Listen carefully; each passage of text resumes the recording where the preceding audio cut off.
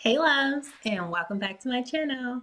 Just wanted to send a Merry Christmas to you all and let you know that I've missed talking to everybody and I'm looking forward to the new year um, with some new projects that are coming up. Um, I know I sound so much like a broken record. I'm coming back this time. I'm coming back this time. I'm not gone. I'm not gone. But I promise I'm on my way back. Um, getting through the pandemic has been interesting um, to say the least, but there's been a lot of exciting things that took place. Um, so I'm excited to share with you guys some of the stuff that's coming up. So stay tuned. But in the meantime, have a very Merry Christmas. Um, happy holidays to everyone. And just pray that you guys all enjoy this time with family and friends, those that can get together and spend time.